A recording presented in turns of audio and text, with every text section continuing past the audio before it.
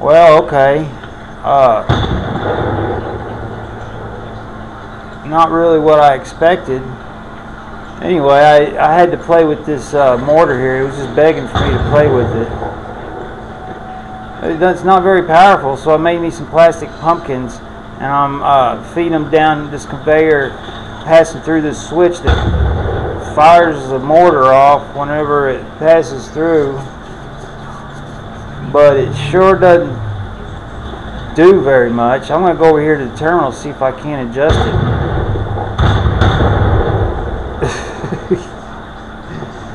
you know, I just thought it'd be a little bit more powerful than that. Alright. Let's see if I can't do something with it.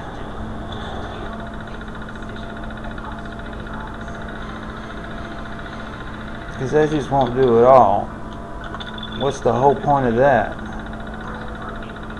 Oh, wait a minute.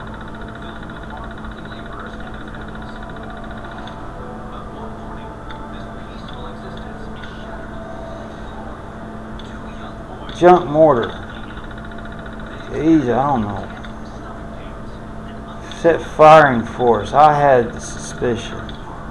Five recommended. Hell with that. You know what I how I feel about recommendations.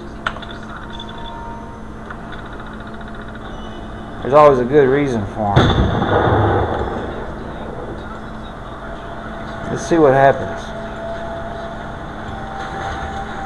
Oh man, we're to have to do something better than this. My uh, timing isn't quite right. I mean, it, it should trip whatever. There's already one in there, so fire it off. That's it? You got to be kidding me.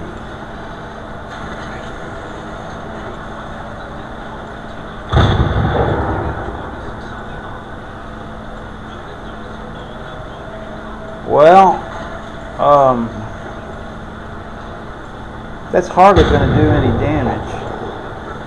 I wonder if you had what would happen if you. Uh, I'm sure somebody's tried this. Well, now that one went up pretty good there. Let's just give this a second. Well, I think part of the problem is I'm in the way. I've got, yeah, I'm, uh, I think I'm getting blocked here, but I can't move it now. But anyway, I may try something different here in a minute. There's a better way to skin this cat, I guarantee.